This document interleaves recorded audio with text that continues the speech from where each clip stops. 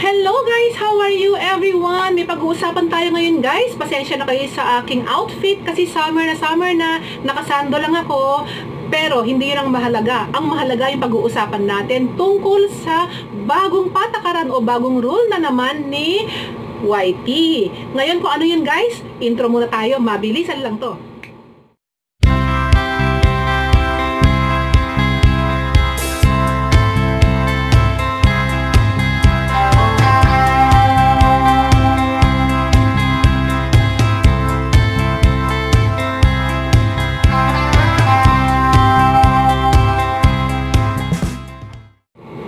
Eto na guys, I'm back. Mabilisan na explanation lang to guys para at least may idea lang kayo o may guide lang kayo.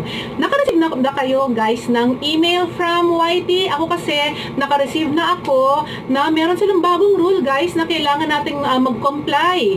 It's about the tax guys. Natataksan nila tayo na may deadline siya. Kailangan mong makapag-submit o makapag-fill up ng form na yon at may submit mo siya um, is mga katapusan yata ng uh, May May 30, something like that. I just don't know guys kung exact yung nabanggit kong uh, date, pero May.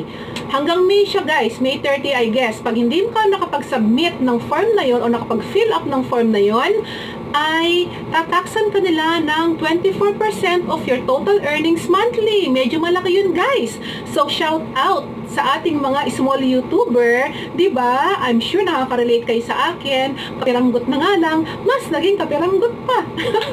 Pero wala tayong magagawa, guys, kasi rule is rule. Kailangan natin mag-comply, 'di ba? Wala tayong magagawa doon. Kailangan lang nating i-submit na para wala tayong problema. Ako kasi, guys, nakapag-submit na ako kahapon. Finill upan ko na siya. Uh, at ilang seconds lang, guys, naka-receive na ako ng email na nag-grant na kagad yung mga request ko. Kasi guys, ganito yon. Meron kasing tax treaty, ang tawag doon ng Philippines at US. Correct me if I'm wrong, kung tama yung sinasabi ko, meron tayong, wait ha, may kumakatok guys, sandali.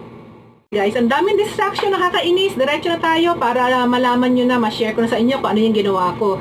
Una guys, pumunta kayo, mag-sign in kayo sa Google AdSense ninyo. Lista ko na para walang makalimutan. Mag-sign in kayo sa Google AdSense ninyo. Tapos, i-click nyo yung payment. And then, scroll to payment profile and click edit next to the United States Tax Info. Ngayon guys, i-click nyo yung Manage Tax, Info, Information. Tapos, doon sa page na yon, you'll find guide. Makikita nyo, magkakaroon kayo ng guide doon guys, kung para makatulong sa inyo kung ano yung appropriate na form na kailangan nyong fill upan. Nando doon, magbasa lang kayo ng maigi guys, madali nyo naman maintindihan, nandun na lahat. Ngayon guys, uh, fill upan ninyo ng tama I think uh, nilagay ko rin pala yung ano ko da guys, uh, hihingin nila yung TIN number ninyo.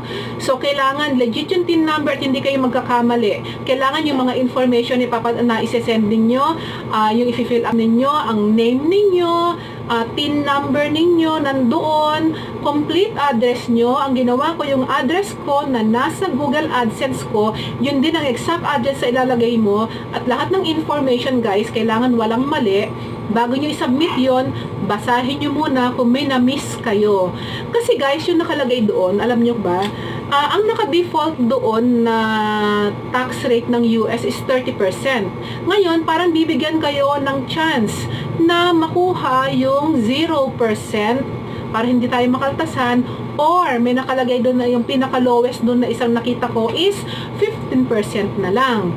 So yun guys, ay in a matter of uh, ilang seconds lang pagka-submit ko ng form na yon, naka-receive na kagad ako ng a notification or ng email from YouTube na na-approve na yung sinend ko na form. So, wala na akong problema. Kasi hanggang May 31 lang, guys. Eh, pag sa pagdating ng May 31 at hindi ka pa nakakapag-submit ng form, mapipilitan sila. Automatic, ang ilales na sa'yo is 24% ng uh, tax ng um, monthly earnings mo. So, malaki yun, guys. Wala talaga matitira. So, at least, binigyan tayo ng chance para mapababa or mapa-zero yung iba at mapa-15% yung iba. So, let's grab the opportunity, guys. Yun lang pagkakaintindi ko sa kanya, mabilis lang yun guys. Parang ano, madaling sundan. Kumbaga, hindi ko na binasa yung buong mga article na pagkadami-dami. Kung ano lang yung nakalagay doon, madali lang naman siyang sundan guys. So, gawin nyo na para wala kayong problema. Baka malimutan nyo pa, mag May 31 na, di ba? Macha-charge tayo ng sa 24%, di ba? So, yun guys. Bye! Sana naintindihan nyo ko. Sana naintindihan nyo yung explanation ko kasi ang bilis ko magsalita para hindi kayo mabore. Bye!